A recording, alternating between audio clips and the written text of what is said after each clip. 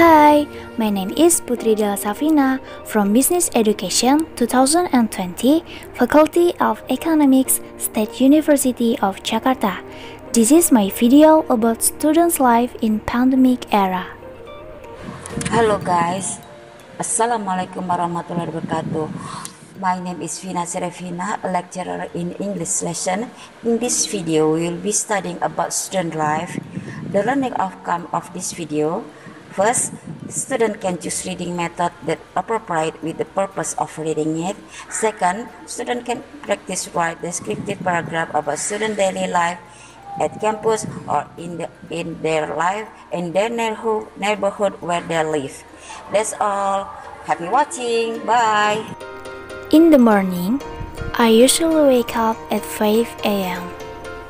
and immediately praying subuh then read the Holy Quran. If the sun is up, I opened the window and take a breath of fresh air. After that, I make my bed and don't forget to sweep the floor.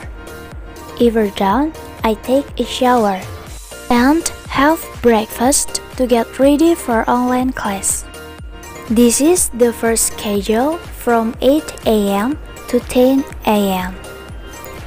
When the class is over, I'll do some assignments and have lunch. If after Duhur prayer there is no class anymore, I do something like play with pet or watch video on YouTube. In the afternoon, I wash the dishes and take a shower to Asar prayer.